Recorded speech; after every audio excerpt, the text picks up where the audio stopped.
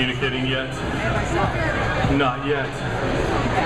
We're waiting for the autonomous thumbs up, and we don't have it yet.